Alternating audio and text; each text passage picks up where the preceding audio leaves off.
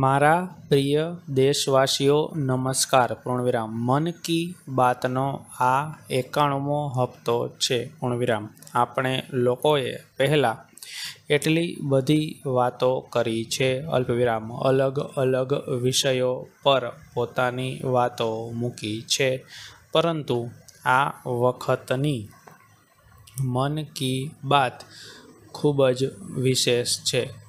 તેનું કારણ છે આ વખતનો સ્વતંત્રતા દિવસ, અલ્પવિરામ. જ્યારે ભારત તેની સ્વતંત્રતાના પંચોતેર વર્ષ પૂરા કરશે, પૂર્ણવિરામ. આપણે બધા ખૂબ જ અદ્ભુત અને ઐતિહાસિક પળના સાક્ષી બનવા જઈ રહ્યા છીએ, પૂર્ણવિરામ. ઈશ્વરે આપણને આ ખૂબ જ મોટું સૌભાગ્ય આપ્યું છે, પૂર્ણવિરામ. તમે પણ વિચારો. જો ગુલામીના સમયમાં જન્મ્યા હોત તો આ દિવસની કલ્પના આપણા માટે કેવી હોત? પ્રશ્નાચિહ્ન. ગુલામીમાંથી મુક્તિની એ તડપ, પરાધીનતાની બેડીઓમાંથી સ્વતંત્રતાનો એ અજંપો કેટલો મોટો રહ્યો હોત? ઉદ્ગારચિહ્ન. તે દિવસો જ્યારે આપણે રોજે રોજ લાખો દેશવાસીઓને સ્વતંત્રતા માટે લડતા, ઝઝૂમતા, બલિદાન આપતા જોતા હોત. પૂર્ણવિરામ જ્યારે આપણે રોજ સવારે એ સપના સાથે જાગી રહ્યા હોત કે મારું ભારત ક્યારે સ્વતંત્ર થશે અને બની શકે કે આપણા જીવનમાં તે પણ દિવસ આવત કે જ્યારે વંદે માતરમ અને ભારત માતા કી જય.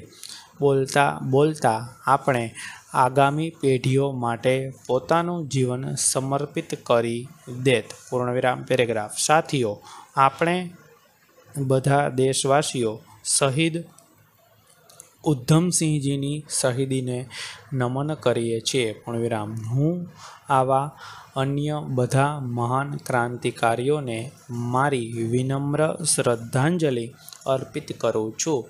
જેમણે દેશ માટે પોતાનું સર્વસ્વ ન્યોછાવર કરી દીધું. પૂર્ણવિરામ સાથીઓ, એ જોઈને મને ઘણો આનંદ થાય છે કે સ્વતંત્રતાનો અમૃત મહોત્સવ એક જન આંદોલનનું સ્વરૂપ લઈ રહ્યો છે. પેરેગ્રાફ બધા ક્ષેત્રો અને સમાજના પ્રત્યેક વર્ગના લોકો તેની સાથે જોડાયેલા અલગ અલગ કાર્યક્રમોમાં ભાગ લઈ રહ્યા છે. પૂર્ણવિરામ આવો જ એક કાર્યક્રમ આ મહિનાની શરૂઆતમાં મેઘાલયમાં યોજાઈ ગયો. પૂર્ણવિરામ આ કાર્યક્રમમાં ઘણા બધા કલાકારોએ સુંદર પ્રસ્તુતિ કરી. અને ઇતિહાસને જીવંત કરી દીધો પૂર્ણવિરામ તેમાં એક કાર્નિવલનું પણ આયોજન કરવામાં આવ્યું હતું, જેમાં મેઘાલયની મહાન સંસ્કૃતિને ખૂબ જ સુંદર રીતે દર્શાવવામાં આવી. પૂર્ણવિરામ આજથી કેટલાક અઠવાડિયા પહેલાં કર્ણાટકમાં પણ એક અભિયાન ચલાવવામાં આવ્યું હતું. તેમાં રાજ્યના પંચોતેર સ્થાનો પર સ્વતંત્રતાના અમૃત મહોત્સવ સાથે જોડાયેલા મોટા ભવ્ય કાર્યક્રમો આયોજિત કરવામાં આવ્યા હતા. પૂર્ણવિરામ.